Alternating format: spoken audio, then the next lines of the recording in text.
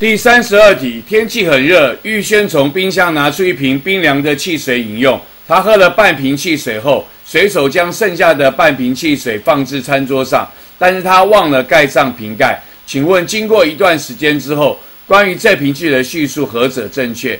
选项 A，溶解在汽水中的气体会变多了，这个是错的。我们知道，我们的瓶盖一打开，因为压力减小。那么气体的溶解度就会变小，它就会跑出来。然后最后放置的时候，正常情况下是温度会升高。那温度升高的时候，气体溶解度也会变少，所以溶解的气体会变少。所以 A 是错的。那么答案 C 是说，剩下半瓶汽水甜度为整瓶的一半，这个也是错的。容易是一个均匀的混合物。如果不考虑其他条件的改变，那么整瓶的汽水跟半瓶的汽水，它的甜度、溶解度。浓度是一样的，所以呢，选项 C 呢也是错的。选项猪说，糖汽水中的糖的溶解度会减少，口味口感会变淡，这也是错的。如果不考虑其他的状况，我们是想到说，我们汽水放到外面的话，那么它的温度会提高。那温度提高，糖是固体，固体的时候温度越高，溶解度越大，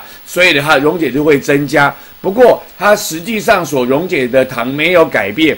我也就是说，它的浓度实际上没有改变。如果我们不考虑其他的因素的话，那么这样它的甜度、口感是不会改变的。所以猪呢也是错的。那么选项 B，如果部分的水分蒸发，那没有沉淀生成，甜度会增加。这个叙述呢是对的，因为呢浓度就是糖水里面的糖啊，溶液里面的溶质。那如果我的水量减少了，也就是我的糖水减少了，或者是说我的溶液的量减少了，可是我里面的糖的量、溶质量没有变的话，那我的浓度就会增加，甜度就会增加，所以选项 B 是对的。所以第三十二题问我们说，关于这瓶汽汽水的叙述何者正确？我们答案呢选的是 B，皮内部分水分蒸发后，若皮内无沉淀生成，甜度会增加。